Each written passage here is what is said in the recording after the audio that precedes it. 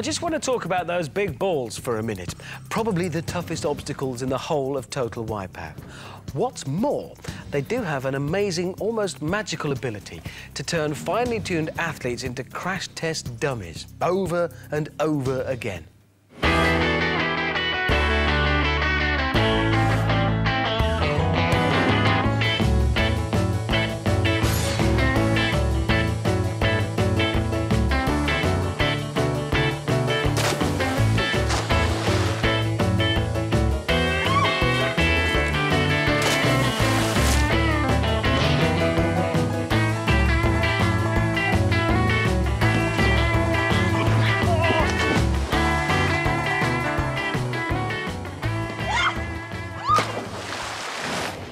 So, how will 37-year-old mum Yvonne from Fife deal with the balls? Oh, not very well. Yeah, starts reasonably well, then goes horribly wrong. Oh, best not to land on your face there, Yvonne. Let's see that one more time.